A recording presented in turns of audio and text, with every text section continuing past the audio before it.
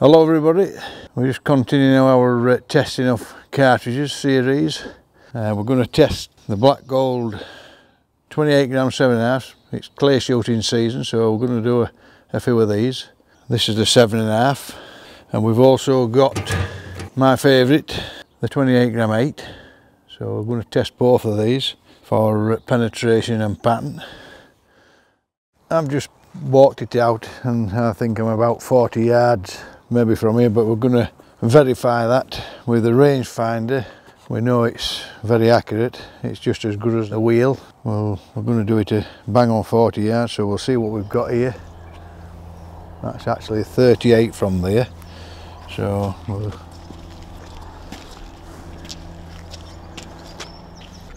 well that's bang on 40 yards. That's that's what we're looking for. Using my Miroku Cross MK60 barrels and my uh, MK38 stock.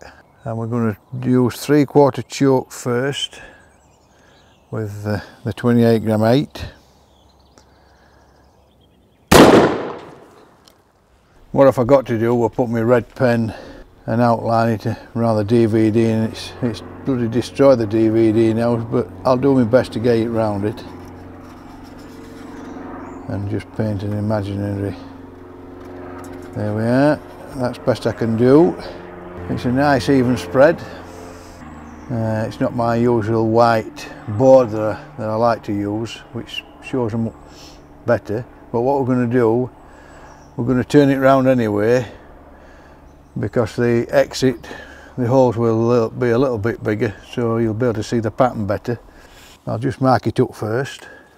Weather conditions cold easy on the shoulder. We've Got eight pellets in the actual circle.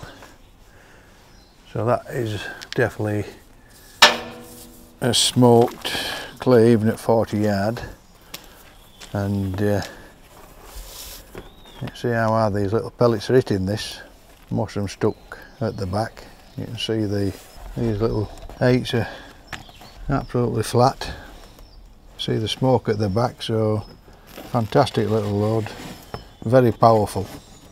And if you look at the pellets yeah they're only small but if you look at the the damage you know even if only one or two hit that clay then they'll flatten out and break it. So I've uh, I have a lot of confidence in uh, in this 28 gram 8 fantastic little cartridge. Right we're just gonna go to the same spot again 40 yards and uh, put this black gold seven and a half throw the three quarter choke and just uh, let's have a look at the difference in pattern. And if there's any difference in penetration I'm sure there will be it's a bigger pellet. Right as I say we're at 40 yard I'm just going to check it again. I marked it but I'm going to check it again with a rangefinder. Putting the seven and a half through the three quarter choke I'll just check this is on again. There we are. Bang on 40 yard again.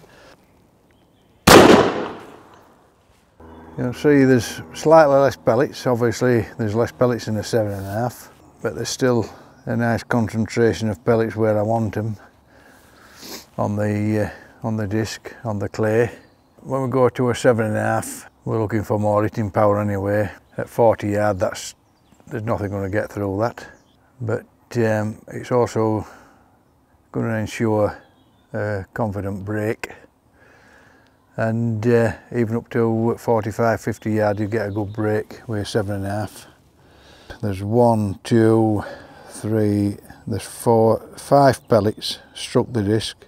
That one's gone straight through that one's gone straight through that one's almost gone through that one's gone through. And you can see there's there's a little bit more penetration on uh, on the on the disc and uh, they've penetrated the cardboard. So I will be very confident in that being a really good kill.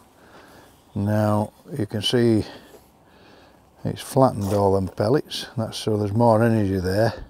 A 28 gram seven and a half is still throwing a good pattern through a three quarter choke 45 50 yard I'd be confident in uh, in killing uh, killing the clay there's a bit more energy in these pellets. Ideal when you're shooting uh, going away rabbits on the floor.